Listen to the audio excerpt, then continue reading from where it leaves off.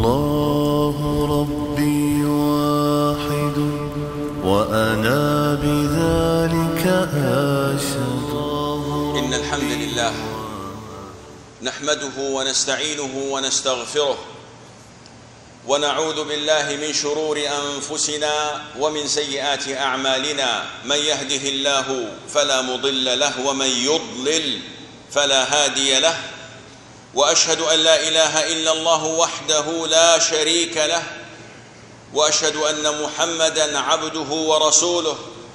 يا أيها الذين آمنوا اتقوا الله حق تقاته ولا تموتن إلا وأنتم مسلمون.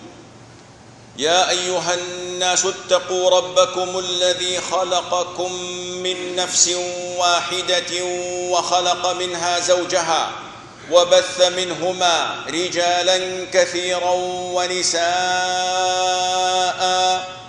واتقوا الله الذي تساءلون به والأرحام. إن الله كان عليكم رقيبا.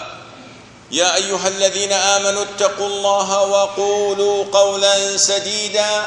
يصلح لكم أعمالكم ويغفر لكم ذنوبكم. ومن يطع الله ورسوله فقد فاز فوزا عظيما. أما بعد فإن أصدق الحديث كلام الله عز وجل وخير الهد هدي نبينا محمد صلى الله عليه وآله وسلم وشر الأمور محدثاتها وكل محدثة بدعة وكل بدعة ضلالة وكل ضلالة في النار. عباد الله إن الإنسان بطبعه يحب جمع الأشياء وإن لم يكن له بها حاجة ويكره البذل والعطاء كما قال عز من قائل إن الإنسان خلق هلوعا إذا مسه الشر جزوعا وإذا مسه الخير منوعا. والإكثار والكثرة في الإسلام نوعان. نوع مذموم ونوع محمود مطلوب. فالمطلوب والمحمود من الكثرة ما كان في طاعة الله عز وجل وما كان عبادة له سبحانه وتعالى كقوله عز وجل يا أيها الذين آمنوا اذكروا الله ذكرا كثيرا فالإكثار من الذكر محمود. كذلك وصية النبي صلى الله عليه وآله وسلم لمن سأله وطلب منه رفقته في الجنة قال أعني على نفسك بكثرة السجود أي بكثرة الصلاة. وكقوله صلى الله عليه وآله وسلم تفسيرا لرؤيا رآها عبد الله بن عمر وخاف منها. قال صلى الله عليه وآله وسلم نعم الرجل عبد الله لو كان يكثر الصلاة من الليل. اذا فالإكثار من العبادات والطاعات وما يحبه الله عز وجل أمر محمود. أما الأمر المذموم فهو ما يغضب الله عز وجل ويسخطه. ولا سبيل إلى معرفة ما يغضب الله ويسخطه. إلا عن طريق الرجوع إلى الكتاب والسنة. فالأمر ليس امرا عقليا أو عن طريق اتباع الهوى إنما لابد أن تعود إلى الكتاب والسنة. قال الرسول صلى الله عليه وآله وسلم الربا وإن كثر فإن عاقبته إلى قل. مهما كثر هذا المال المحرم بيد ذلك الفاجر الذي يتعامل بالربا فإياك أن تبهر به. وإياك أن تعجب به فإن عاقبته أن يقل وأن يضمحل وأن يكون في نار جهنم يوم القيامة. بل إن الإكثار من الدنيا أمر مذموم قد دعا النبي صلى الله عليه وآله وسلم على الكفار به. دعا لهم بأن يكثر الله تعالى لهم من الدنيا فقال صلى الله عليه وآله وسلم في دعائه ومن لم يؤمن بك ويشهد أني رسولك فلا تحبب إليه لقاءك ولا تسهل عليه قضاءك وكثر له من الدنيا.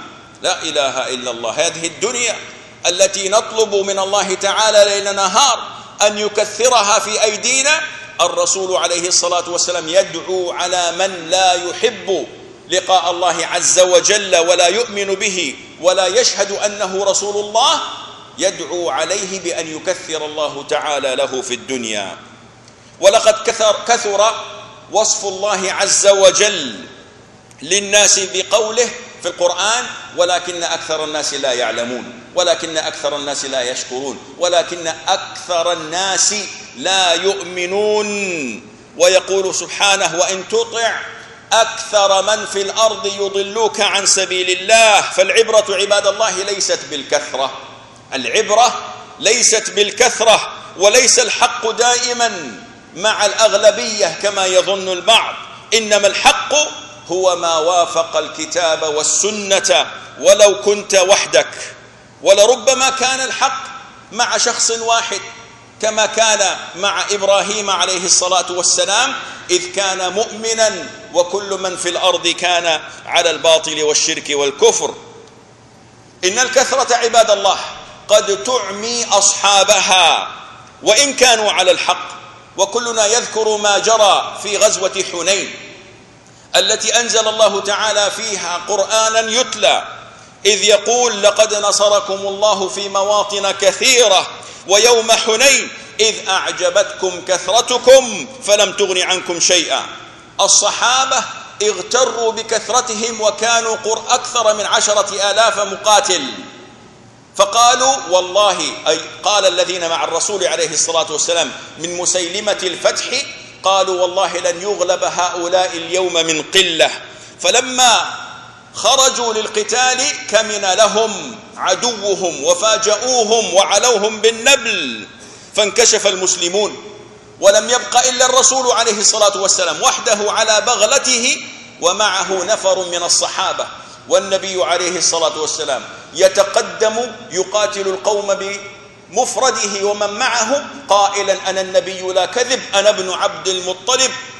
فأمر الرسول صلى الله عليه وآله وسلم العباس أن ينادي المهاجرين والأنصار وكان عليه رضوان الله جهير الصوت. فنادى بأعلى صوته أصحاب السمرة وهم الصحابة. الذين بايعوا النبي صلى الله عليه وآله وسلم عند الشجرة ونادى المهاجرين بأسمائهم فلما سمعوا النداء هرعوا إليه راجعين ولسان حالهم لبيك رسول الله وفداك أبي وأمي. فنصروا الله عز وجل فنصرهم الله تعالى على عدوهم. في هذه الغزوة المباركة لم تنتصر الكثرة التي كادت أن تكون سببا للهزيمة إنما انتصرت النوعية بفضل الله عز وجل. تلك الثلة المؤمنة التي رباها النبي صلى الله عليه وآله وسلم بيده. قال عز من قائل كم من فئة قليلة غلبت فئة كثيرة بإذن الله. وهذا عباد الله هو الجيل الذي انتشر الإسلام في بقاع الأرض على يده. وبالمقابل لو ان نظرنا إلى حال المسلمين اليوم لوجدنا أن الكثرة قد غلبت علينا الكثرة قد غلبت على النوعية فأصبحنا نرى تزايد أعداد المسلمين ولله الحمد في المحافل العامة كالأعياد والحج ولكنهم كما وصفهم النبي صلى الله عليه وآله وسلم وللأسف الشديد غثاء كغثاء السيل. لا تأثير لهم على الصعيد الدولي ولا يأبه بهم أحد لأن أكثرهم وما نحن إلا منهم يعبدون الدنيا ويعبدون المنصب يعبدون المركز ويعبدون الوظيفة ولا يعبدون الله عز وجل مخلصين له الدين ولا يعبدون الله عز وجل كما أمر أن يعبد. هذه هي جيوش الدول الإسلامية والعربية على كثرة دباباتها وكثرة طائراتها التي هي فخر الموجود في العالم. ما حررت أرضا ولا رفعت رأسا ولا أعزت شعبا. إخواننا في سوريا ومن قبلها في فلسطين يذبحون ذبح الخراف ولا حول ولا قوة إلا بالله وما أغنت عنهم تلك الأسلحة شيئا. لأنهم غثاء كغثاء السيل. فليست العبرة عباد الله بعدد الطلقات التي يستطيع المدفع أن يطلقها في الثانية لكن العبرة بما أصاب من أهداف بتلك الطلقات. أقول قولي هذا وأستغفر الله لي ولكم فاستغفروه إنه هو الغفور الرحيم.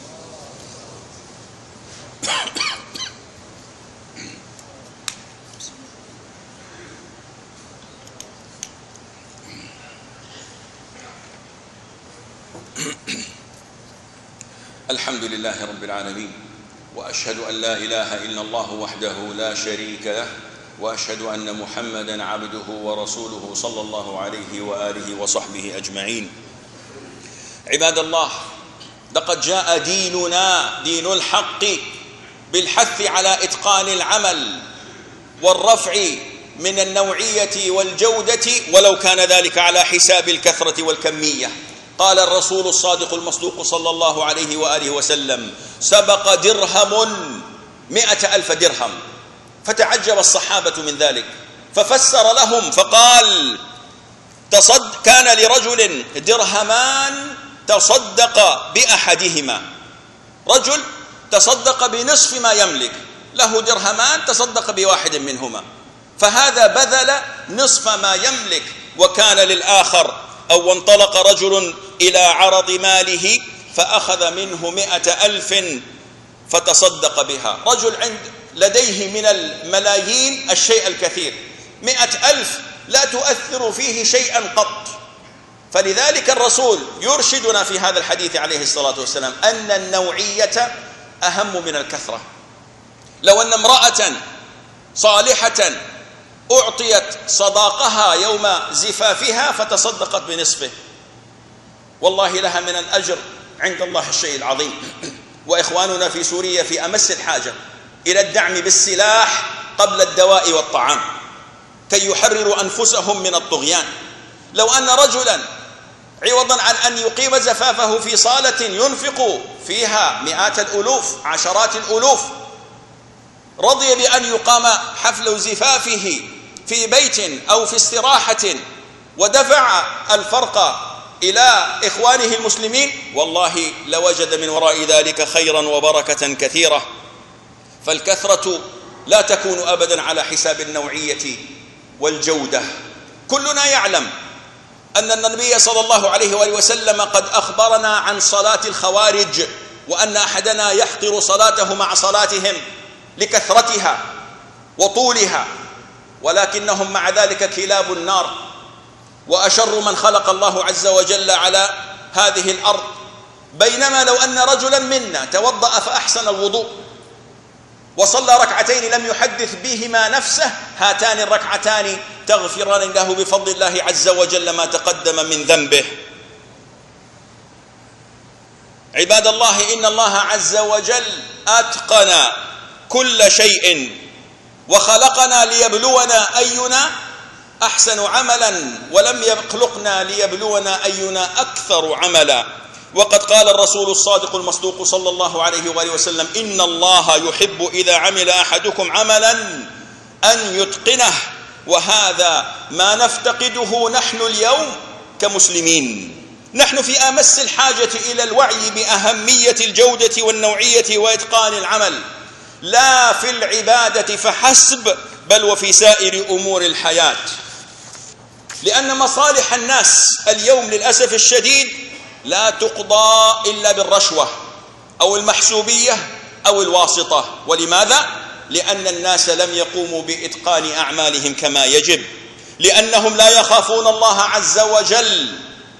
شوارعنا المهترئة والصرف الصحي المزعوم والغش في المشاريع سمة بارزة لبوابة الحرمين مع أن النبي صلى الله عليه وآله وسلم الذي نصلي عليه كل يوم وكل ليلة يقول من غشنا فليس منا. بالله عليكم كم من المصلين معنا اليوم من هو ليس من النبي؟ ولا النبي صلى الله عليه وآله وسلم منه. لغشه وخيانته وتفريطه في المهام الموكلة إليه. إن النبي عليه الصلاة والسلام أمرنا أن نحسن حتى في كفن أخينا الميت. إن تولى أحدنا كفنه. بل أمرنا أن نحسن وأن نتقن حتى في أرذل الأمور عند بعضنا. ألا وذلك هو الذبح؟ قال صلى الله عليه وآله وسلم فإذا قتلتم فأحسنوا القتلة وإذا ذبحتم فأحسنوا الذبح. ذبح البهيمة يأمرنا الرسول عليه الصلاة والسلام أن نتقنه ولو قارنا هذا الأمر بالإحسان والإتقان مع أداء أكثر المسلمين لوجدنا أن الغالبية العظمى لا يتقنون أعمالهم ولا يؤدون واجباتهم مع أنهم إن جاء الأمر إلى الدرهم والدينار يطالبون بحقوقهم كاملة غير منقوصة. ولو قام الأمير والمسؤول والقاضي والطبيب والمعلم والمهندس والضابط لو قاموا بمهامهم وواجباتهم كما أمر الله عز وجل والله لما كان الحال كما هو الآن. إن طريق الفلاح والنجاح يكون بإتقان العبادات كما أمر الله عز وجل. إن أخفقنا في إتقان صلاتنا وأدائها بخشوع حيث أمر الله عز وجل في المسجد فلن نفلح والله ابدا ولو كانت لدينا أعلى نافورة وأكبر دراجة. نريد أن تكون صلاة أحدنا راحة لنفسه وطمأنينة لقلبه. نريد للمسلم أن يرتقي إلى درجة أنه إذا وقع به هم من دين أو غم من مصيبة أو حزن من وفاة عزيز وحبيب وقف بين يدي العزيز الغفور الودود عز وجل فناجاه وتضرع إليه وهو يعلم أن الرزق بيده وأن انشراح الصدر وطمأنينة القلب بأمره وأن من في السماوات والأرض ملك له لأن من كانت حاله كذلك إذا وقف في الصلاة كان متقنا والله لعمله بلا ريب.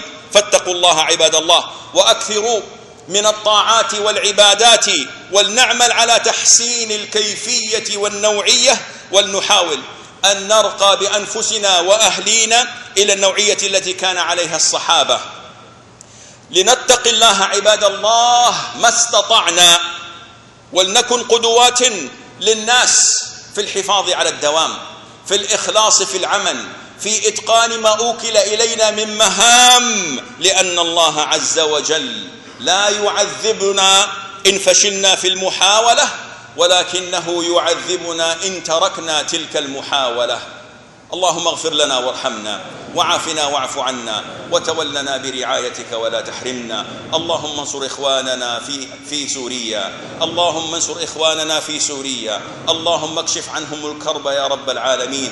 اللهم وحد كلمتهم واجمع شملهم وأقم راية الجهاد بينهم واجعل قلوبهم على قلب رجل واحد يا رب العالمين. اللهم أرنا في عدوك وعدونا عجائب قدرتك يا عزيز يا رحيم. اللهم اجعلنا ممن يجاهدون بأموالهم في سبيلك.